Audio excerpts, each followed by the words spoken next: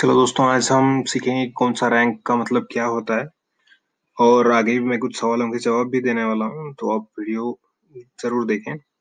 यहाँ पे rank after normalisation मतलब हमने नॉर्मलाइजेशन अप्लाई करने के बाद आपका रैंक कितना आ रहा है।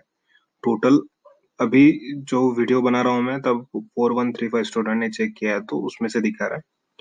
तो यहाँ पे जो बच्चे का रैंक है, वो two thousand one hundred seventy two है out of four one three five अभी जो रैंक विदाउट नॉर्मलाइजेशन है, वो हमने कोई फॉर्मूला यूज़ नहीं किया है, जो भी डेटाबेस है हमारे पास, उस हिसाब से आपका डायरेक्ट रैंक यहाँ पे दिखाएगा।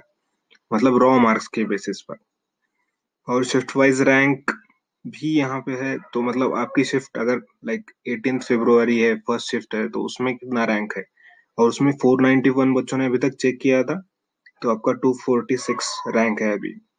इस हिसाब से। कैटेगरी वाइज रैंक जो दिखाता है, वो आपका आफ्टर नॉर्मलाइजेशन दिखाता है on the basis of normalisation marks तो कैटेगरी के बच्चों ने कितना चेक किया? तो 1449 बच्चों ने अभी तक चेक किया है कैटेगरी में। अभी देखो, कौन से शिफ्ट में कितना एवरेज रह चुका है और कितने बच्चों ने अभी तक चेक किया है? काफ़ी बच्चे पूछ रहे थे कि कौन सा शिफ्ट डिफ़िकल्ट है, कौन सा इजी है। अभी कहना बहुत मुश्किल है क्योंकि रिस्पांस जो है सिर्फ़ बहुत बहुत कम है रिस्पांस मतलब अगर फिफ्टीन के या ट्वेंटी के अगर होता है तो फिर हम कह सकते हैं कि कौन सा शिफ्ट आसान था, कौन सा डिफ़िकल्ट था।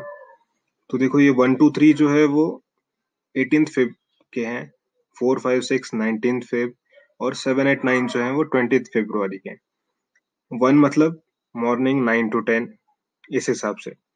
तो यहाँ पे जो दिखा रहा है कि fifty one point one five ये सबसे हाईएस्ट मीन है तो ये सबसे इजी अभी इस डेटा के हिसाब से, अभी हम अगर 20 के के आसपास जाएँगे तो ये बदल भी सकता है।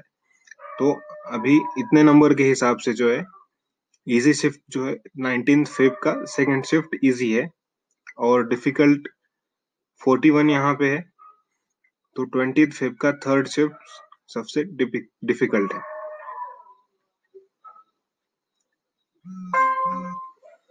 हाँ तो कुछ बच्चों ये भी कंप्लेन कर रहे हैं कि उनका नॉर्मलाइजेशन स्कोर अभी ऐड नहीं हुआ या फिर कुछ बच्चों कह रहे हैं कि नंबर्स पढ़ने के बाद नॉर्मलाइजेशन स्कोर उनका चेंज नहीं हो रहा है। तो ये देखिए, हम मैनुअल क्वेरी एग्जीक्यूट करते हैं तो उसके लिए आधा घंटा वगैरह लगता है।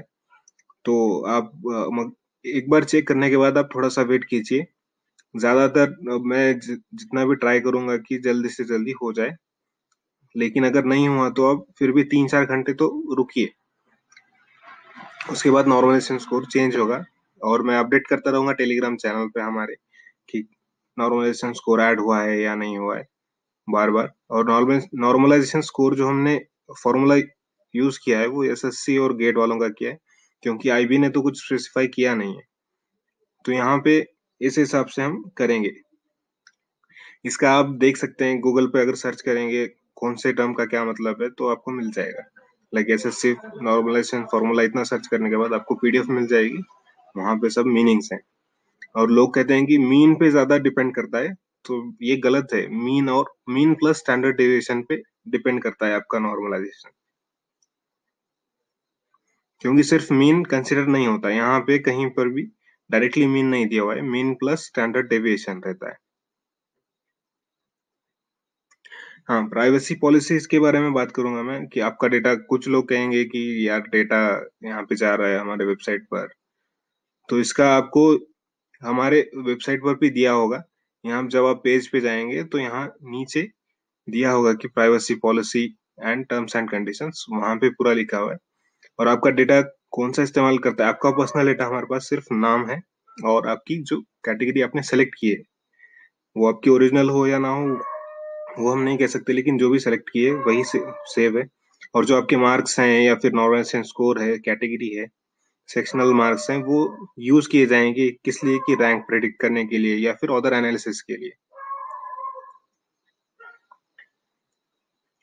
लिंक शेयर कीजिए और अगर सफिशिएंट नंबर मिला तो हम कट ऑफ़ भी जारी करेंगे।